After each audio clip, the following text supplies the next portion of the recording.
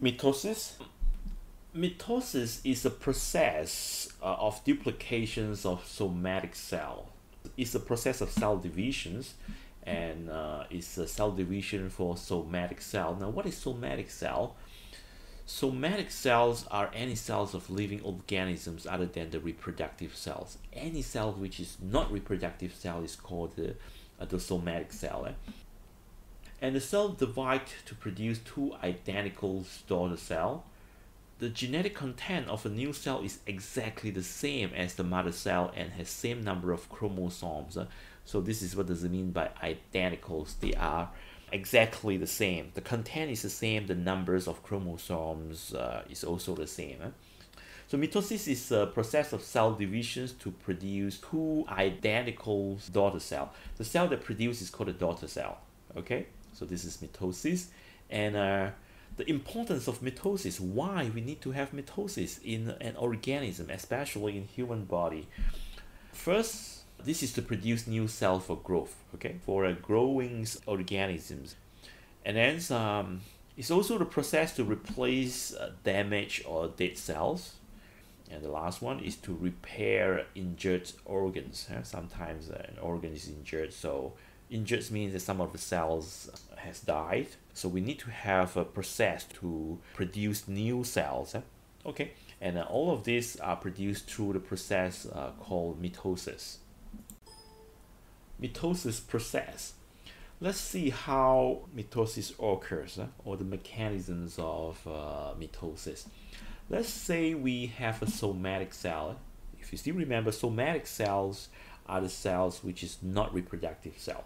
Okay, so inside this cell we have nucleus. This is a nucleus, and then um, we have these things called the centriole. Now, centriole play a very important role in uh, mitosis, so make sure that you remember this name. Okay. So what happens during mitosis process is at the beginning, the chromosomes thicken and become clearly visible. So if we view it from a microscope, we will find that these chromosomes become thicker. Okay. So this is uh, an illustrations of uh, chromosomes. Uh, and uh, inside this chromosome then so we have these things called the centromere and then we have these structures called the chromatids so uh, this is the illustrations of a chromosome during mitosis each chromosome duplicates itself and join at the centromere okay? So it du duplicate and then join at the centromere and the nuclear membranes disappear. This is the nuclear membranes and uh, when this happens the nuclear membranes will disappear okay? And then spindle is formed from centriole. This is a centriole and this centriole will form these hair-like strings okay? And this is called uh, the spindle this is a spindle. Okay. So after that the centriole will move to the two pole of the cells and then uh, at the same time the, the spindles will move to the centromere of the chromosome, the spindle is attached to the centromere. Okay, so the centriole move to the two pole, and then uh, the spindle grow, move to the centromere, and then attached to the centromere.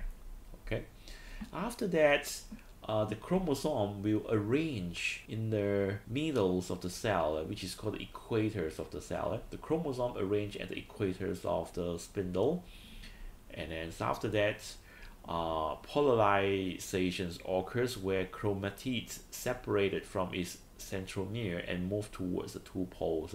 So this process is called polarizations. So the spindle will pull uh, the chromosomes to the two pole. Okay, and after that, the nuclear membranes will reforms again, and the cells begins to divide. Okay, so the nucleus membranes will form and it will divide and then to, to become a two identical cell okay so this is how mitosis uh, occurs importance of mitosis um, we have discussed this just now right okay so it's to produce new cell for growth and to replace old or damaged or dead cells and uh, it is for asexual reproductions for certain living things okay so asexual reproductions means reproductions without sex. Eh? and it ensure new cells have same number of chromosomes as the parent cell. Okay, this is very important because the chromosomes carry the genetic informations of that organisms. So we need to make sure that the content and the number of chromosomes remain unchanged, remain the same, so that these organisms has the same characteristics for the new cells. Eh? Okay, so this is the importance of mitosis.